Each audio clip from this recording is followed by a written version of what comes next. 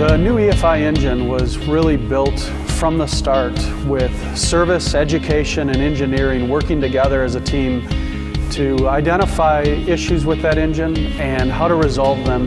By the time we shipped that engine, we had hundreds of thousands of hours of testing. It was tried and true.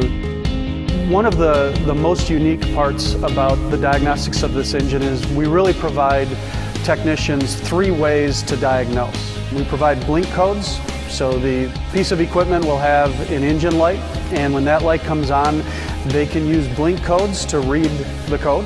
We also provide a tiny scan, which is about the size of a deck of cards. Very compact and easy way to quickly read a code. In about five seconds, you can read the codes on an engine. And then we also provide a suite of full diagnostic software cable and a laptop to be able to diagnose, chart, and log all of the details about an engine when it's running.